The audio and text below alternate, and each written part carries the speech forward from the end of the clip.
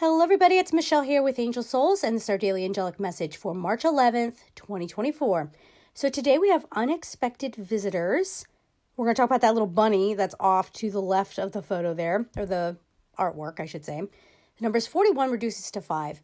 If you're finding today is kind of uh, confusing, you, you're, you're not able to keep your schedule. You know what I mean? Like, it just feels like nothing's coming together there is unexpected interference. Now, this could be a nice surprise for some of you, like if you were maybe a little too hung up on the schedule for the day and um, something sort of interrupts the day that is a wonderful opportunity or something to think about or a, a new direction to go in. That's one thing. But for others of you, it could be go in the opposite direction with a different kind of energy. But I think for most of us, it is a good thing. So if, if you get thrown off course today, the big message I'm getting here is that it is working in your favor.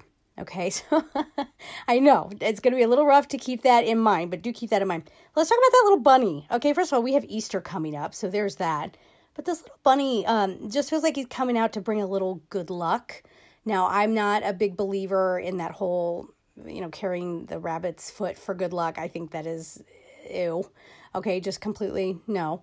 Uh, but bunnies are, I always associate them with good luck and with innocence and, you know, springtime and, you know, the baby bunnies coming out, all that kind of stuff.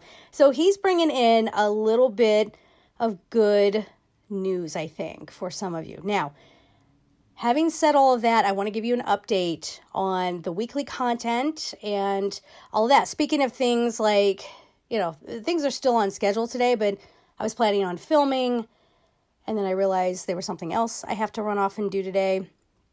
So it may be later on tonight, but I'm definitely going to try to get that up. I'm feeling a lot better. I know I still sound a little wonky, but so much better than I was. I haven't been that sick in years, but I'm I'm back. I am ready to go. As far as personal readings go, angelsouls444.com. Uh, you should have them if you get them in um, soon. I think I still have room to get them to you tomorrow. I do believe. I have to look at that. If not tomorrow, it'll be Wednesday. Okay, but that is a far better wait time than the usual over three week wait time. Now, this is not going to last forever. Okay so get in there if you want to get a reading. I might be able to get in a couple of other live readings this week for those or courses if you want to do a live course. Email me at angelsouls444 at gmail.com. What I would ask is that you don't come in, say you want a reading, and then drag it on for two weeks, okay? I'm going to just assume you don't want the reading, and then I'm going to give that spot to someone else. And if someone is just, you know, playing around, I probably won't answer your emails anymore. okay. So, I mean, that's the gig. Okay. Like, you got to be aware of what you're doing. All right. So, angelsouls444.com if you want a standard reading. Email me at angelsouls444 at gmail.com if you want to get a live session. I'm sending you all so much love and take care. Bye bye.